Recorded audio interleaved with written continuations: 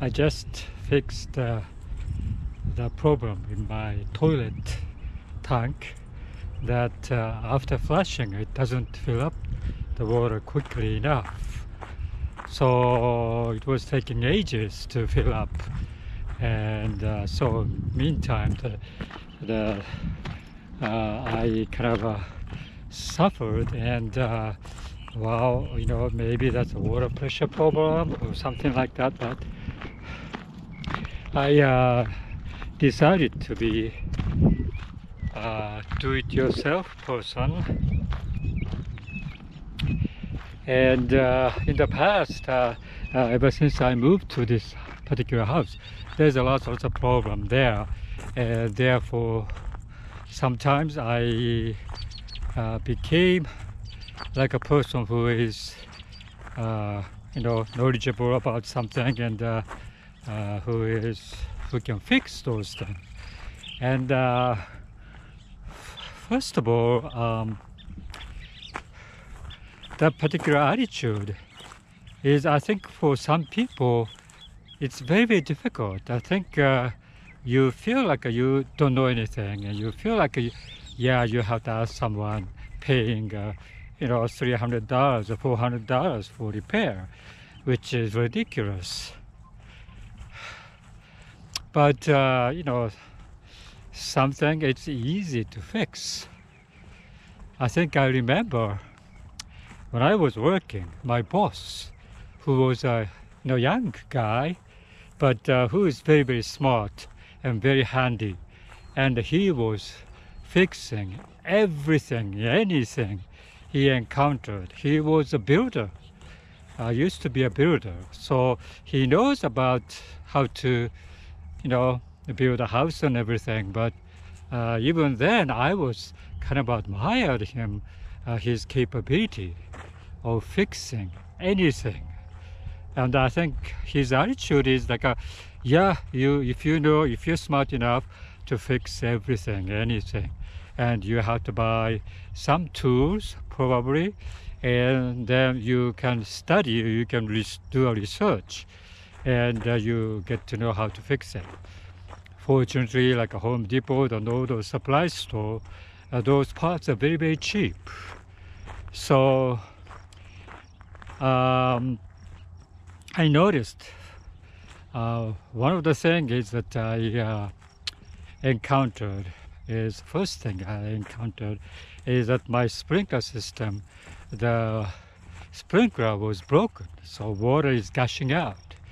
Because, oh, you know, I never replaced the sprinkler head, so I don't know I could do that. But uh, then again, you know, I was kind of a little bit curious. And so I kind of uh, dug, and it's not the easy task. It's very, very difficult. Sprinkler system, uh, deep under the uh, grass, and you have to dig it and find out where the sprinkler is connected. So, so that particular sprinkler head, I uh, went to the store and bought uh, the new sprinkler head. But uh, rather than saying that, I think I bought the plug because other sprinkler head I didn't need it because I converted to the uh, um, more or less like a perennial bed. So I don't need a sprinkler head there. Uh, so I uh, took that particular one and plugged it and then replaced this broken one. And that worked fine as I'm kind of became very, very proud. Then I noticed also the former owners, I think this is like a, uh, uh, me as the third person, third owner, but I think definitely first uh, person, I think, uh, who built the house or who was the first owner of the house, uh, didn't think of much about uh, sprinkler system. So some area they have like a, three or four of them very close together, watering something. You know, the sprinkler grass, there's a lots, lots of water coming out there. And usually you do kind of a short time to water. But uh, uh, I have to plug some of the, those plugs close proximity sprinkler head, uh, you know, which is kind of a redundant sprinkler head. So I did that. And that was like, you know, I had a good feeling of uh, fixing that. Uh, then one zone was like uh, coming up intermittently when I uh, operated. All the other zone, I have a four zones of a sprinkler system, and uh, um, three zones are doing fine. But this particular zone is like intermittent. Sometimes it works, sometimes it doesn't. So wow, you know, I uh, did the research and I tried to find out, uh, you know, where the valve is, and it seems like the valve is a fault because uh, controller, sprinkler controller, uh, are working uh, fine there because uh, when I operated to that particular zone, the water pressure is very very low, but it comes on, comes on, but uh, you know the pressure was not good enough. So evidently, I think the valve was fault. So this one, I I don't know how to find the the valve is, and I have no idea. So I have to call the sprinkler uh, person, uh, and he came and he fixed it very very nicely because he has this special tool to find where the valve is located. And he found it and he dug underneath the, uh, the grass. And uh, this particular valve is hidden underneath the you know, very healthy grass on top. So you have to get rid of the uh, patch of uh, the grass and um, you have to open the particular valve and you have to you know replaced with a new one or something. That's what he did. And, uh, so yeah, it's nice to know how to fix all these miscellaneous things. So sprinkler head I could replace, I could uh, manage, uh, you know, doing that, taking care of that. Uh, but the dishwasher also stop uh, stopped working uh, because uh, the pump to uh, take all the, the liquid wa uh, washed water uh, and usually those uh, water is hosed out to the where the disposal working in that particular area there's this hose coming in from the dishwasher so for that, you know, I I didn't know what, what the problem was to begin with, so I have to I have to ask somebody to come in, and uh, he came, but he refused to fix it because the there's a copper pipe sitting there connected to the dishwasher, and uh, he is not supposed to touch the copper pipe. So you know they told me I have to uh, ask somebody to replace the uh, copper pipe to the flexible pipe.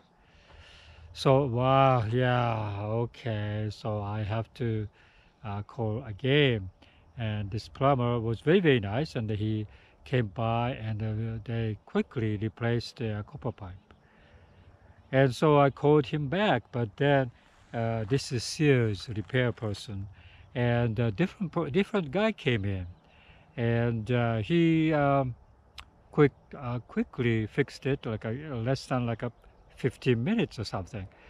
Uh, so yeah wow you know if i could have that knowledge uh, i could have done that. But then again dishwasher is kind of a cumbersome because you have to uh, get underneath it and you have to know where exactly you're replacing the, the pump so anyway, he replaced the pump and it's everything working fine now. So today I uh, I decided to tackle this problem of slowly filling up tank of the toilet. And uh, the best uh, way to, to know those things is the YouTube. I think, uh, uh, of course, you do, um, uh, you know, internet search with how to fix the slowly filling up uh, water in the toilet. And uh, so, you know, I kind of uh, know how to fix uh, one by one, maybe, because uh, they would tell you, you know, each one. But some of them are uh, not appropriate and not most crucial things there.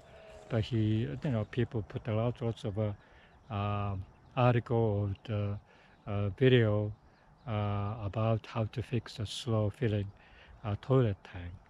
Uh, but uh, uh, some of them are, are very, very good. And so I found that uh, if you take this, the filling valve uh, off from the toilet tank and uh, uh, take at the bottom, there was uh, this plastic uh, flow sloping uh, parts in there. And uh, the, they're all taking off that particular so uh, the, I think controlling the water flow. I think uh, because I think uh, what I understand is like if you have that particular spiral um, a plastic thing, uh, that the water doesn't sound loud when it's filling up. But you know this is ridiculous. It's filling up like a, you know, it takes like a, oh I don't know, 20 minutes to half an hour to fill up there. So. Um, finally I realized that yeah I have to do that and uh, took me oh, about two or three hours to figure out how that you know because I don't have uh, tools or anything to fix those things but uh, you know have a little prior and uh, a little you know uh, long um, to to take that particular plastic thing off. Uh, so after that, now it, it's working fine. It's like a you know uh, maybe 30 seconds. It's filled up now. So yeah, I got to know that wow, you know, this DIY thing. You really have to pay attention because yeah, most of them you can fix yourself if you are smart enough or if you are uh, you know dedicated enough to to to do all these things uh, so realize that yeah i mean they save money lots of money to to be a do it yourself person. So i will recommend anybody who are you know i don't know uh, living in a house uh, facing the lot lots of issues in the house. You know like a bathroom toilet uh, doors windows uh, you know dishwasher uh, you know all these things uh, plumbing uh, you really have to think about yeah smart enough to think about what's wrong with this and uh, yeah, you can fix it. And uh, I, you know, there's a lot of people uh, fixing themselves.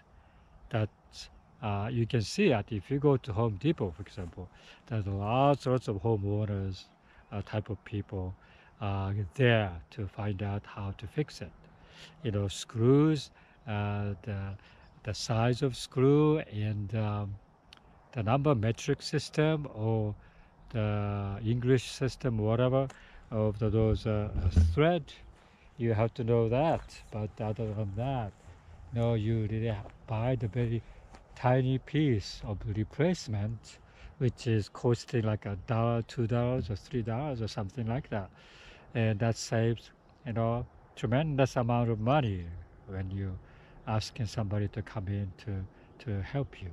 So yeah, so that's a little tips of the person, especially like a senior person who doesn't have much because you know they are a retired person, so therefore they don't have much uh, to do. So they should pick up some of those uh, books, or if it's not books, you you have an internet, and then you you really have to uh, search for those miscellaneous problems, how to fix it. And there's plenty of them there. But to caution you that some of the uh, the YouTube video, I think some of them are very good. So you really have to, rather than uh, watching just one video, you have to watch several videos and you you have to get the consensus of the problem. Because uh, uh, yeah some of them are not that appropriate for your purposes. So um, yeah uh, you, you have to be careful. But I think it's a it's kind of a nice hobby maybe? DIY as a hobby